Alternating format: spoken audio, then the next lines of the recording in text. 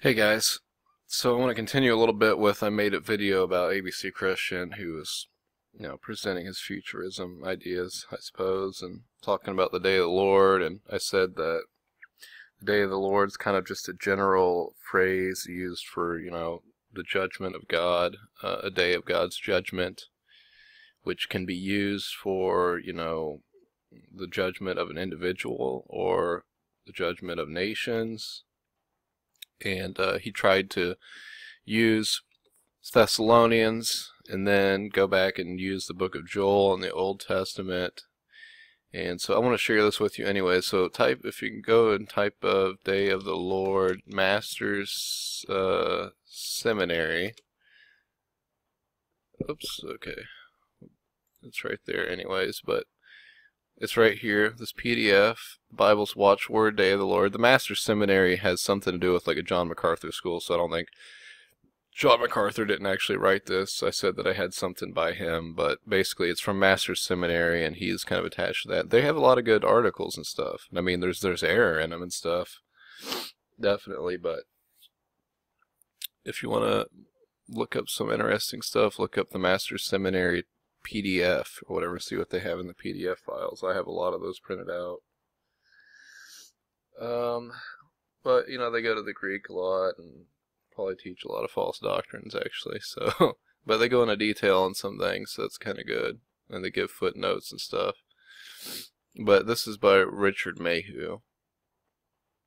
Okay, the Master's Seminary, the Bible's watchword, Day of the Lord, and I just I just looked at this briefly, and I'm going to go over it briefly here, but here it says the Old Testament background. God's servants, the prophets, spoke of the day of the Lord as both near historical and far eschatological events. In many passages, the day of the Lord moves from the near to the far. This relationship between near and far can be seen in Obadiah, Joel, Isaiah, and Zephaniah. Okay, it goes some verses there. It says Beecher commented the prophets thought of the day of Yahweh, the day of the Lord, as generic, not occasions which would occur once for all, but one which might be repeated as circumstances called for it. Kaiser, who has been influenced by Beecher, similarly similarly explains the final time would be climactic in the sum of all the rest. Though the events of their own times fitted the pattern of God's future judgment, that day was nevertheless immeasurably larger and more permanent to it in its salvific and judgmental effects. Okay. Day of the Lord prophecies found fulfillment in various ways. These included one, the Assyrian de deport deportment of Israel in 70, 722 BC. Amos 5, 18 and 20. I'm going to kind of check that out. Amos 5, 18 and 20. I don't know what it says. Does it just talk about uh, the Assyrian captivity? Okay. Woe unto you that desire the day of the Lord. To what end is it for you? The day of the Lord is darkness and not light, as if a man did flee from a lion and the bear met him. What was it, 18 and 20? Okay. Shall not the day of the Lord be darkness and not light, and even very dark, no brightness in it? Well, somehow they're tying this to Assyrian captivity or deportment of Israel.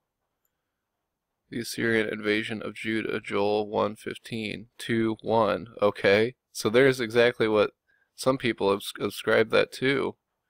That's what ABC Christian tried to use here, and other people would too. Yeah, it was Joel 2 1, right here. Joel 2 1. The Assyrian invasion of Judah in 701 BC. See that? Nothing to do with some future physical, literal, special end times event where Christ physically, literally appears and all this other nonsense. Okay? And a lot of these people believe in the future physical literal millennial kingdom. People that are in this master seminary. I can show. Let's just go to the end and stuff. They talked about it being a, an eschatological event and stuff. You know? They talk about the rapture and all this stuff.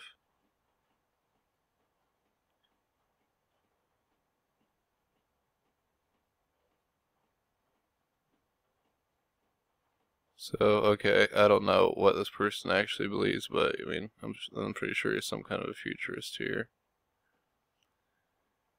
It doesn't matter. Anyways.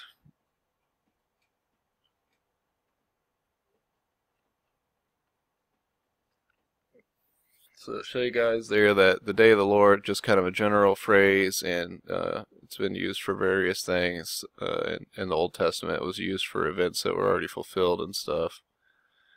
So uh, that's that. I said that, and now I'm showing that. And I'd like to go into more detail about this. I need to read through this, and I'll make some kind of page on the forum or something about the Day of the Lord and go through that more eventually. Hopefully, I remember.